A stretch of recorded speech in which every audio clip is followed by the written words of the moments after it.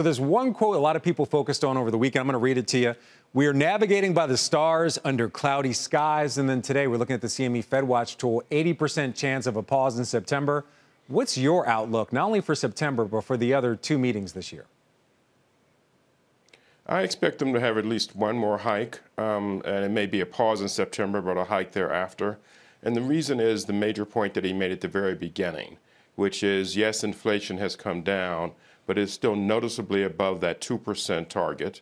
And then he also talked about you know the forward momentum that we've seen recently, as he says, may call for you know further hikes. Um, and so I think you put it all together, and it feels to me as though there's at least one more hike uh, likely, and frankly, depending on the data, possibly more. They're very data dependent right now, but I think one certainly seems you know consistent with uh, the main messages that he was delivering. Yeah, you, you, seem to be hearing something very different than what the market's hearing. So I do want to ask you, you've been in these rooms. What are these cloudy skies? We're on a pretty clear trend of inflation trending down. Um, yes, the economy's strong, but isn't that the goal of a soft landing for inflation to steadily decline and the economy to remain strong? The goal is certainly for inflation to steadily decline, but you, people are missing the second part of that sentence. While inflation has been steadily declining, it is still noticeably above the 2% target. And as he said, 2% is and will remain the target. The second thing that I think folks might be missing uh, is that there have been mixed signals around the economy. Certainly some forward momentum, but the labor market, which is one of the places they're looking, remains uh, noticeably tight. Uh, and so I think you know a risk management approach where the risk of doing too little uh, is important, as the risk of doing too much, might lean them towards at least possibly one more this year. And depending on the data, we'll have to wait and see. Right. Uh, maybe more could occur, but right now it feels like one seems consistent with this speech. Okay. So, as you pointed out, Jay Powell was very adamant that 2% inflation remains the target. Uh, right now, you look at core PCE at 4.1%. There have been a lot of people who have been critical about the fact that he, he's not willing to shift this target. Uh, if you were on the FOMC, would you advise him that perhaps 3% inflation would be okay? Or maybe it's time to at least shift that target? No, no, no. It's not time to shift the target. Uh, another speech that was made there was by Christine Lagarde from the ECB. Same questions come up with her.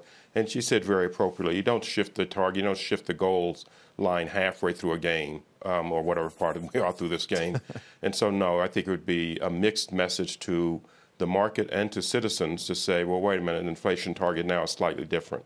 Remember, um, one of the reasons that people fight inflation, and certainly I believe this very strongly, is inflation is an insidious tax, often and mostly on the poor among us.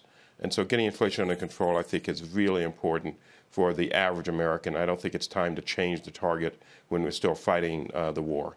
All right. What's also important to the average American is affordability when it comes to houses, vehicles, et cetera. Um, interest rates are very high right now. Do you believe that we're still likely to see a soft landing? I know last time you were here, you believe we were on the path for a soft landing, but with possibly one more hike, can that soft landing still be achieved? I think it could be achieved for the points that you raised, which is there's good forward momentum.